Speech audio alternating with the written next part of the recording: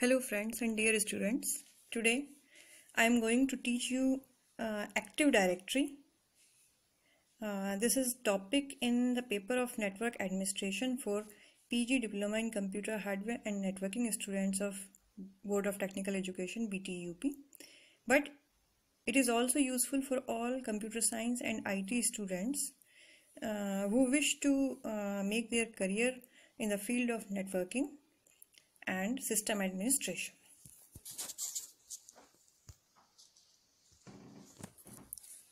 So to start with, uh, in this lecture, uh, you are going to learn about what is network administration, the role of a network administrator, uh, what is Active Directory, its structure, the benefits of Active Directory, how you can set up an organization, the Microsoft Management Consoles, organizational unit, OU hierarchical models, and user accounts, groups, and printers. These all are objects created inside organizational units.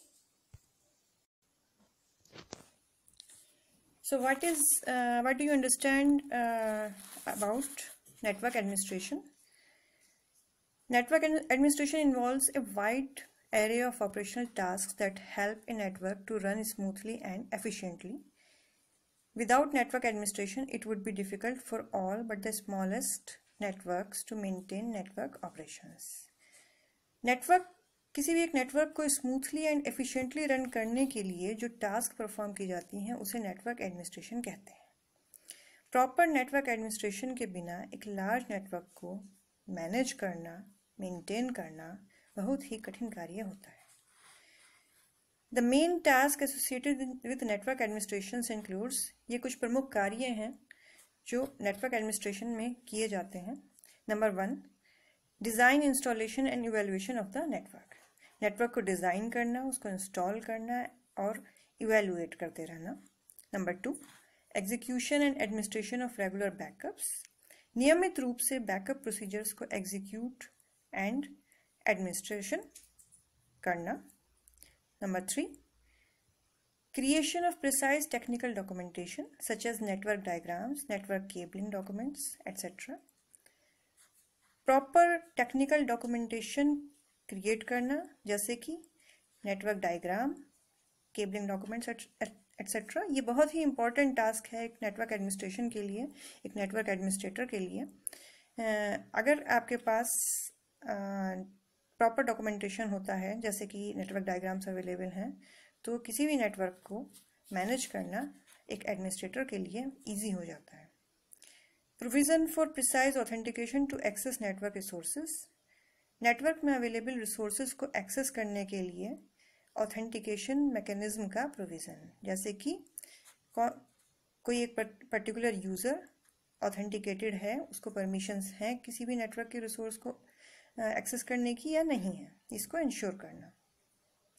Provision for troubleshooting assistance अगर कोई problem आती है तो उसको trouble shoot करने के लिए assistant assistance का provision administration of network security including intrusion detection और इस सब के साथ सबसे इंपॉर्टेंट पॉइंट है नेटवर्क की सिक्योरिटी को मॉनिटर करना, जिसके लिए नेटवर्क में इंट्रूजन डिटेक्शन सिस्टम इंक्लूड किया जाता है और उसके अलावा काफ़ी सारे फीचर्स होते हैं जिसको देखना होता है।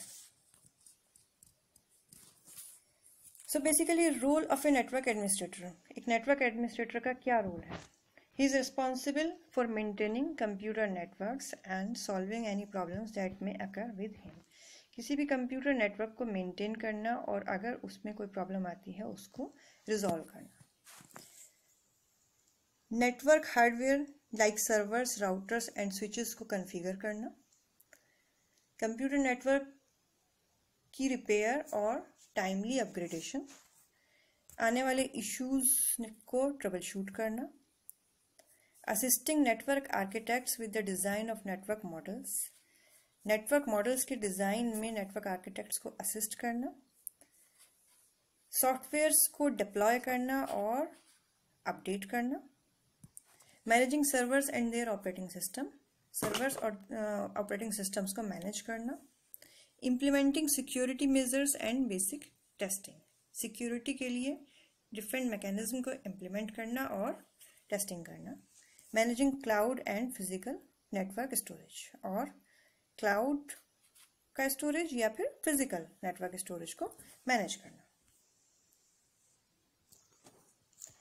Now we are moving towards our topic active directory active directory basically क्या है what do you understand by active directory so active directory domain service is one of the most important server roles in windows server 2008 Windows server 2008 में जो server rules हैं उसमें सबसे important active directory domain service होता है server roles means there are different type of server roles like web server you may configure a server into web server mail server print server DNS, and Active Directory. So Active Directory Domain Service is Microsoft's implementation of a directory service that provides centralized authentication and authorization service. जो इसका feature है active directory का जो usage है, वो basically centralize authentication and authorization services provide करने के लिए होता है। A D D S is Windows server two thousand eight provides a powerful directory service to centrally store and manage security principals such as users groups and computers so active directory domain service जो होती है, वो एक powerful directory service होती है। किस लिए? Centrally store करने के लिए और मैनेज करने के लिए यूज़र्स को ग्रुप्स को एंड कंप्यूटर्स को। It offers centralized and secure access to network resources इसके साथ साथ नेटवर्क के रिसोर्सेज का centralize and secure access provide कराती है। It provides the basis for authentication and authorization for virtually all other server roles in Windows Server 2008 and is the foundation for Microsoft's identity and access solutions.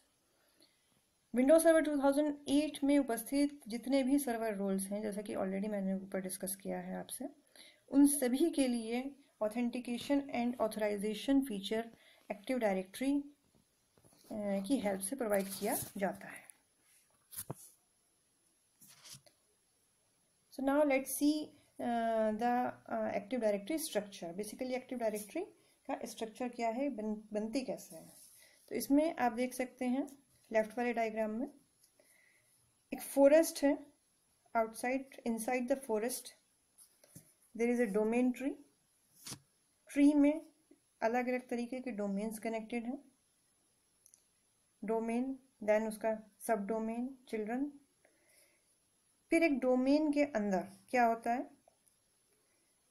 O U create किए जाते हैं, organisational units. और organisational unit के अंदर different type of objects रहते हैं, जैसे कि users and resources so basically organizational unit क्या होता है? एक डिपार्टमेंट की तरह वर्क करता है। राइट साइड वाले डायग्राम में आप देख सकते हैं, एक कंपनी डोमेन है। एक कंपनी डोमेन के अंदर एक ओयू बनाया जो कि लंदन के लिए है सेकंड न्यूयॉर्क के लिए थर्ड पेरिस के लिए एंड फोर्थ ग्लोबल। ये location wise O U create किया गया है। और ओ यू के अंदर आप देख सकते हैं यूज़र्स हैं ग्रुप्स हैं location on UK series companies and different type of other groups and users in each organizational units तो सबसे टॉप लेवल पे फॉरेस्ट होता है एंड सब बॉटम लेवल पे इसमें ऑब्जेक्ट्स होते हैं। ऑब्जेक्ट्स क्रिएट किए जाते हैं ऑर्गेनाइजेशनल यूनिट के अंदर।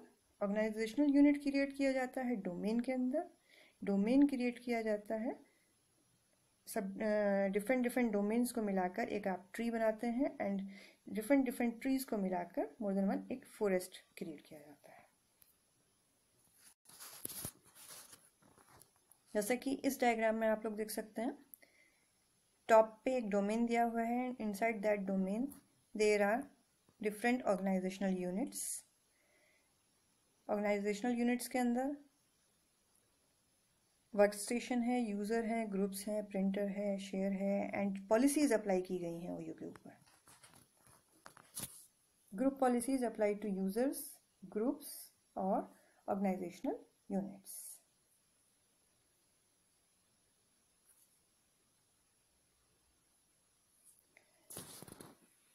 So basically benefits क्या है एक्टिव डायरेक्टरी को यूज़ करने के लिए?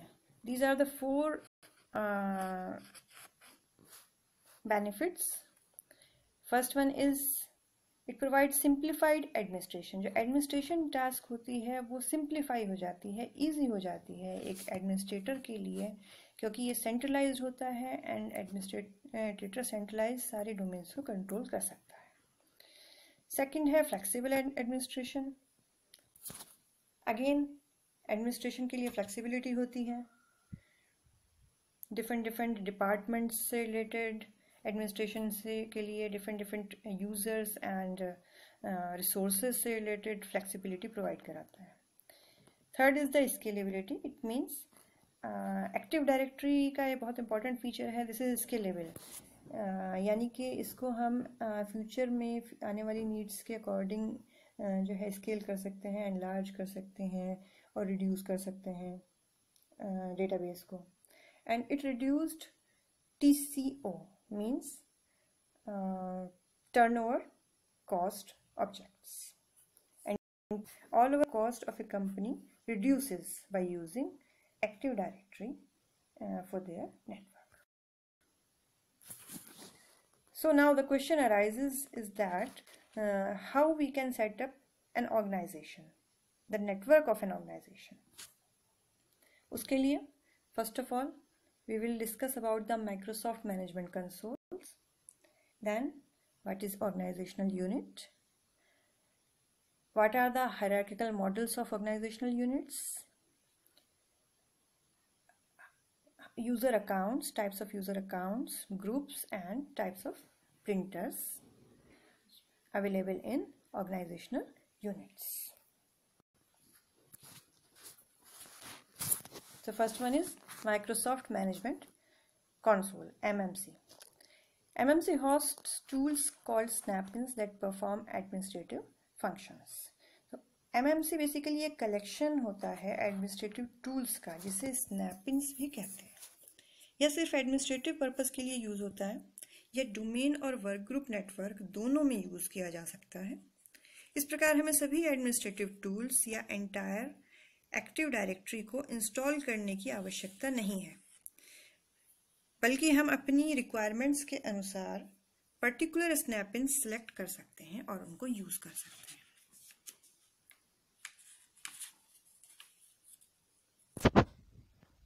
जैसा कि इसमें डायग्राम में दिया गया है। स्नैपिन हाईलाइटेड जब आपके conference N M C open करने के बाद computer management local computer management active I C यूजन growth B S C C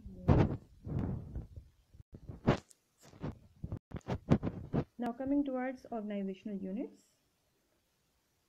organizational unit क्या होता है? It organizes objects in a domain एक डोमेन में ऑब्जेक्ट्स को ऑर्गेनाइज करता है। ऑर्गेनाइजेशनल यूनिट और ओ यू इन शॉर्ट एक लॉजिकल कंटेनर होता है, जिसमें डिफरेंट टाइप्स के ऑब्जेक्ट्स होते हैं। ऑब्जेक्ट्स क्या होते हैं? जैसे कि यूज़र्स और हार्डवेयर रिसोर्सेज और groups of users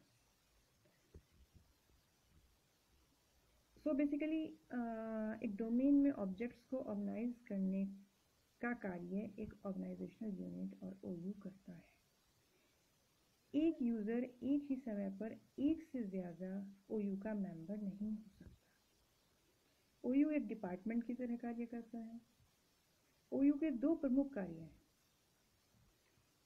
Number one to apply policy और group policy object on particular users और department number two it gives delegate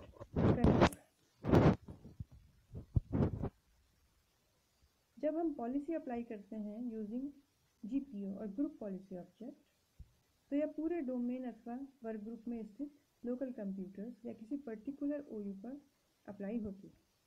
अगर हम ओयू पर पॉलिसी अप्लाई करते हैं तो यह उन सभी यूज़र्स जो कि ओयू में स्थित हैं पर इनहेरिट हो जाता है।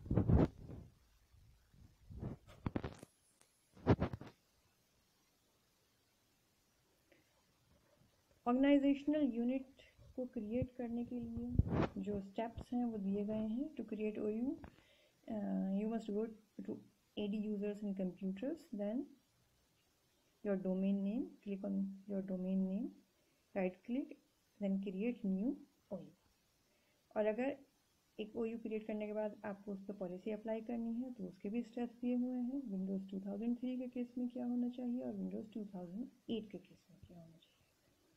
in case of Windows 2008 uh, you will go to program administrative tools then group policy management forest then domain then your domain name click on your domain name OU create new group policy object then edit GPO then computer configuration and user configuration. That's it.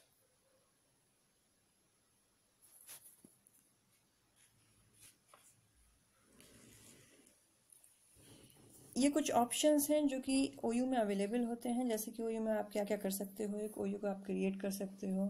उस पर group policy object apply कर सकते हो। Inherit कर सकते हो policies को। और ऑर्गेनाइजेशनल यूनिट ब्लॉक कर सकते हैं policy inheritance in child OU it means अगर आप ब्लॉक कर देंगे तो जो ऑर्गेनाइजेशनल ओ का जो चाइल्ड ओयू होगा, उसमें पॉलिसी इनहेरिट नहीं होगी। एनफोर्स कर सकते हैं। Group policy object in parent O U अगर हम चाइल्ड पे कोई जी पी ओ लगाते हैं और उस तो उसको, उसके पेरेंट पे एनफोर्स भी किया जा सकता है। और पॉलिसीज़ को डिसेबल कर सकते हैं अप्लाई करते हैं सिक्योरिटी परमिशंस को ग्रुप पॉलिसी ऑब्जेक्ट्स पर फ़िल्टर करते हैं G P O add link with an existing G P O और डिलीट लिंक और डिलीट जी पी ओ सभी कार्य हैं ऑप्शन से जो कि परफॉर्म किए जाते हैं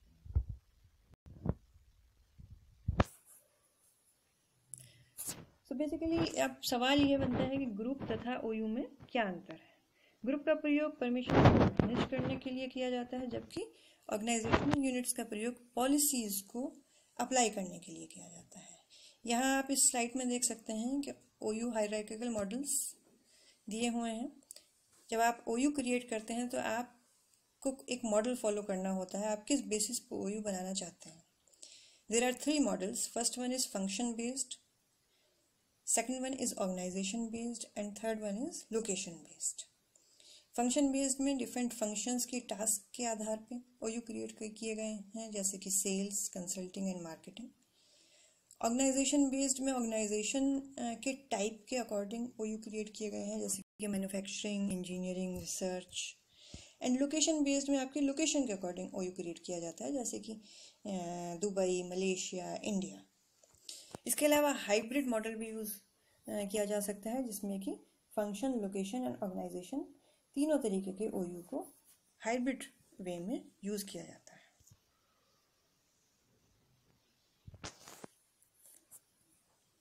सो so, एक एक ऑर्गेनाइजेशनल यूनिट क्रिएट करने के बाद उसके ऑब्जेक्ट्स क्रिएट किए जाते हैं। तो ऑब्जेक्ट्स में आप कौन आता है? यूज़र यूज़र अकाउंट्स तो user accounts basically two types के होते हैं। First one is local user account and second is domain user account local user account local computer में स्टोर होते हैं, जबकि डोमेन यूज़र अकाउंट वो अकाउंट होते हैं जो कि एक्टिव डायरेक्टरी में स्टोर किए जाते हैं।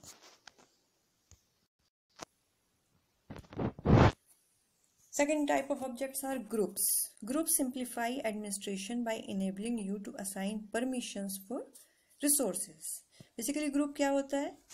एक ग्रुप ऑफ़ यूज़र्स होता है। ठीक है? जिसको कुछ परमिशन असाइन की जाती हैं। किसके लिए? रिसोर्सेस के लिए और डिफरेंट टास्क के लिए। तो ग्रुप का प्रयोग बेसिकली परमिशंस को मैनेज करने के लिए होता है। तो groups are characterize by scope and type scope and type के आधार पे ग्रुप को कैरेक्टराइज किया जाता है। And the group scope determines whether the group spans multiple domains और is limited to a single domain एक ग्रुप का स्कोप ये डिफाइन करता है कि वो जो ग्रुप है, वो मल्टीपल डोमेन्स में स्पेन कर सकता है या फिर एक सिंगल डोमेन में ही आधारित रहेगा। Three group scopes are global domain local and universal तीन तरीके के स्कोप्स होते हैं। जो कि global domain local and universal कहलाते हैं।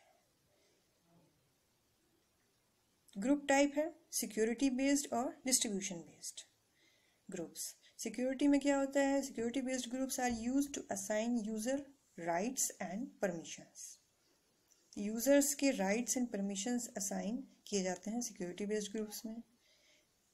They can be use as an email distribution list email distribution list के तौर पर भी उसको यूज़ किया जा सकता है। जबकि डिस्ट्रीब्यूशन टाइप ऑफ़ ग्रुप्स क्या होते हैं? They can be use only with email applications and can not be use to assign permissions ये सिर्फ़ ईमेल एप्लीकेशंस में प्रयोग होते हैं और यूज़र्स को परमिशंस असाइन करने में इनका प्रयोग नहीं। Third type of objects like resources are the hardware devices जैसे कि प्रिंटर्स होते हैं। प्रिंटर्स भी दो तरीके के होते हैं। First one is local printers and second one is network printers local printer में क्या होता है? प्रिंट सर्वर से प्रिंट डिवाइस कनेक्ट होती है यूजिंग एलपीटी और यूएसबी और आईआर जबकि प्रिंट्स नेटवर्क प्रिंटर्स में क्या होता है? प्रिंट सर्वर से प्रिंटर्स अटैच होते हैं print devices using TCP IP और आईपीएक्स और एप्पल एक्टिव डायरेक्टरी के केस में जो ऑब्जेक्ट्स होंगे ओयू के अंदर वो नेटवर्क प्रिंटर